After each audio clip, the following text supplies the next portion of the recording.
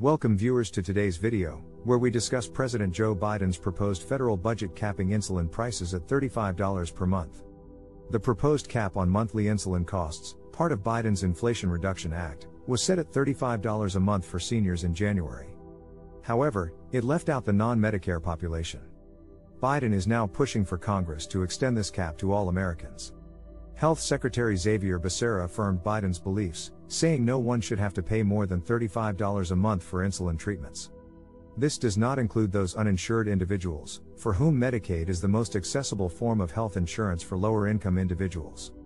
Becerra further noted that the fastest way to lower insulin costs is for the remaining 10 states without Medicaid expansion to do so.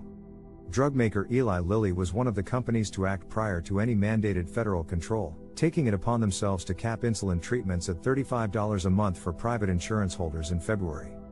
CEO David Ricks pointed out that 7 out of 10 Americans don't use Eli Lilly brand insulin, calling out the federal government and employers to make insulin costs more affordable. Eli Lilly's actions were approved by Biden, who recommended that other manufacturers follow suit. However, some Republican representatives oppose these proposals.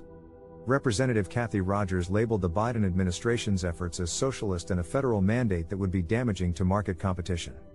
This is an issue debated on both sides, as 40% of diabetes sufferers have private insurance and 5% are not insured, according to the American Diabetes Association. We invite you to join CNBC's Healthy Returns virtual event on March 29 to hear the progress made to date in reinventing the future of medicine as well as discussing the best investment opportunities in biopharma, health tech, and managed care. To learn more and register, follow the link provided. This brings us to the end of our discussion on President Joe Biden's proposed federal budget capping insulin prices at $35 a month. We hope you join us at the Healthy Returns event on March 29 to stay informed and learn more. Thank you for watching.